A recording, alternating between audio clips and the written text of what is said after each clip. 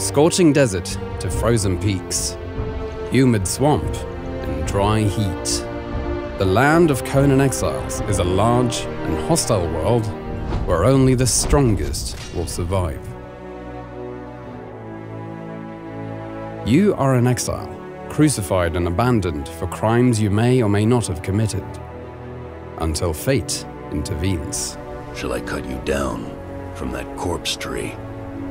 Your beginnings are humble and unforgiving, as you fight not only hunger and dehydration, but vicious beasts, terrible monsters, other exiles, and the environment itself.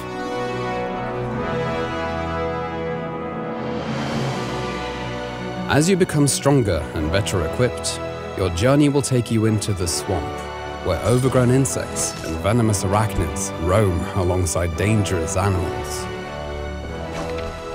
While earning better equipment, you'll also be able to construct bigger and stronger fortresses to defend yourself against monsters, inhabitants of the exiled lands, other players,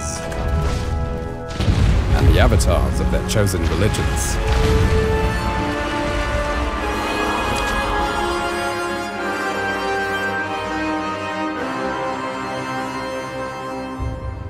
Other exiles have banded together in camps and villages, where their cultural backgrounds come with knowledge of different crafts and a variety of weapons and armor. If you capture one of these craftsmen and make them your thrall, their knowledge will become your knowledge.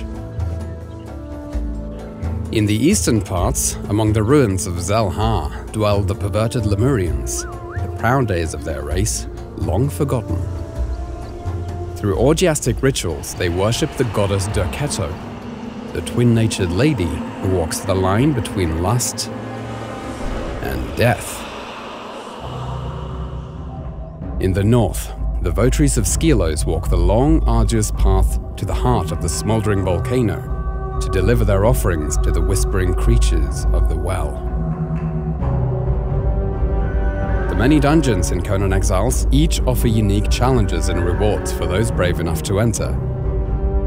But go deep enough, and you'll only find madness. Surviving in the exiled lands is made a little easier for those with green thumbs, as cultivating the land is a new way for you to grow key ingredients for alchemical mixtures, such as potions and volatile orbs, as well as components for different foods and crafts. Your craftsmanship is a vital component to your survival, as you will have to think twice about what you wear for the different climates. From scorching desert to frozen peaks, humid swamp, and dry heat, where only the strongest will survive.